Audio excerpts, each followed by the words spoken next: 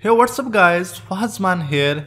In this video I am going to show you how to remove activation lock from iPhone.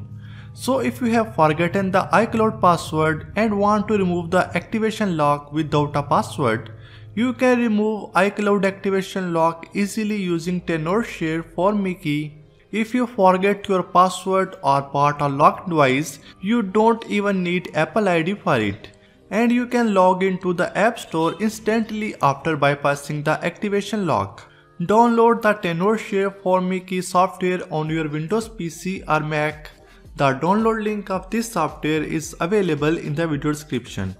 And after installation, launch the program into your computer and you will see the interface like this.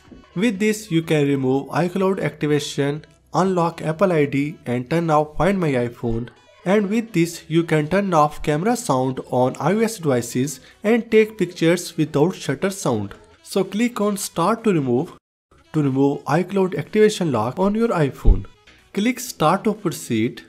After you click the start button, connect your device that is iCloud lock to computer with USB cable. Here you will need to jailbreak the device. Then the program will prompt you to burn jailbreak environment to a USB flash drive Please insert the USB flash drive to your computer and click start. Next, the program starts to install jailbreak tool to your USB flash drive.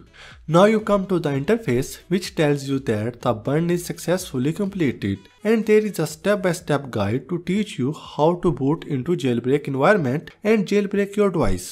Restart your computer when the computer restarts, press F12 or F9 to open the boot order. Once in, select USB storage device to boot. Then select the options from the keyboard arrow key from the settings screen. Select Allow Untested iOS, iPadOS, tvOS versions options and press enter to select it. Then choose the back button and press enter to back to the main interface.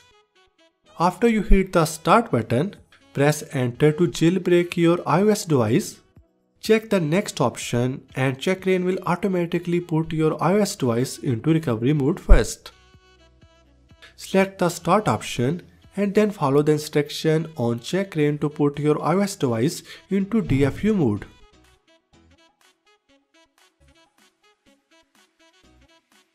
It will automatically jailbreak your device when the jailbreaking process is completed, select done and unplug the USB flash drive.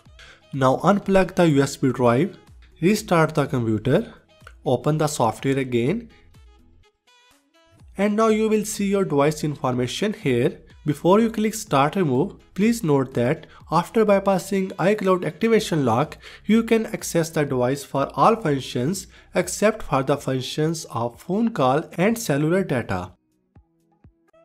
The process to remove iCloud activation lock won't take much time. Please don't use your device during the removal process or disconnect it from computer. Now the iPhone activation lock screen has been bypassed successfully. At this time you can check out your iOS device and set up it as a new one.